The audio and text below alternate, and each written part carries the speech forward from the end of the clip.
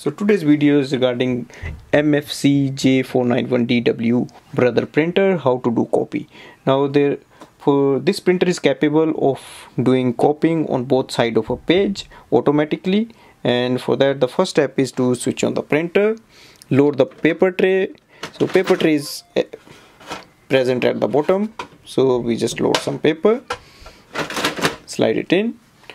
Now we go for the copy option. For that first uh, open the top scanner. Place the page facing downwards. Now now we go here and press the copy button. Now scroll down to the menu and look for the two-sided option. As we can see here two-sided copy press ok. And select this option and press ok again. And now we start copying.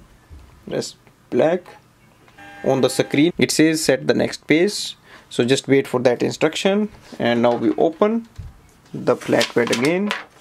I put the second page facing downwards. And now press the button accordingly here. And now wait for the printing for the copy. Now I open the this tray so that we can hold the page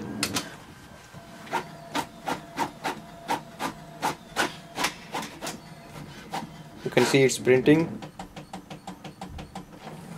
And it's taking the page back inside. So every whatever is doing it's doing automatically itself.